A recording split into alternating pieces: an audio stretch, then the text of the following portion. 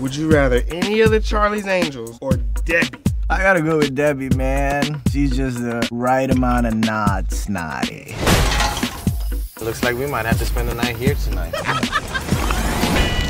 Yo, I slept like a baby. You look on us. Talking door? Hello, door. Why is everybody on the calculator? Yo! I went outside, I saw a dude with his car plugged in. The price of gas is $5 a gallon. What's the date? 2016. That weed we smoked knocked us out for 30 years. Debbie.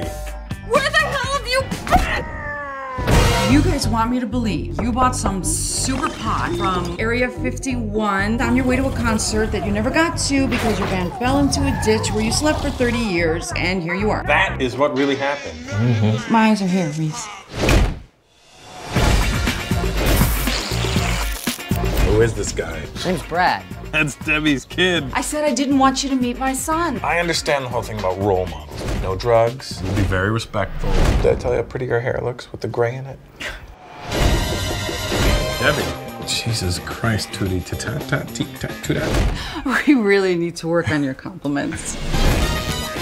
Hey, it's bad to smoke cigarettes. We're green, and those are our tombstones. If you're ghost, how come I can't see through you? Because I'm black!